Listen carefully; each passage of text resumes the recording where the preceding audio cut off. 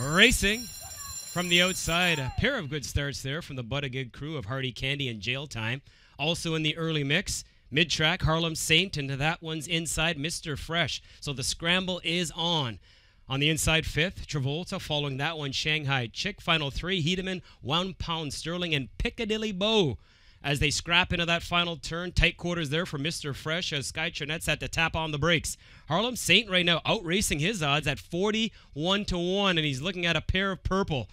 Hardy Candy and Jail Time both for Team Buttigieg getting a sweet trip in fourth, that's Hedeman, 22 and 4 for that opening panel. As they turn for home, it's four across the track. Still quite a few chances being led by Harlem Saint. Now here comes Hedeman, four high in between horses, Hardy Candy, and on the far outside, Travolta. Down to these three, it looks like. On the far outside, Hedeman takes over command. Hedeman and Da Silva. Da Silva looking for three in a row, and he's got it. Hedeman, Hedeman wins.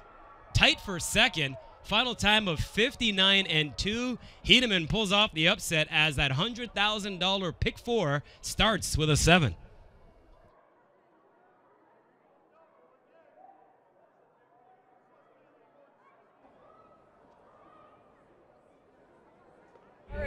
Okay, Betty. Okay, hold it right there, guys. And hold it right. Okay, guys. That's good. We got it. First one. Congratulations, guys.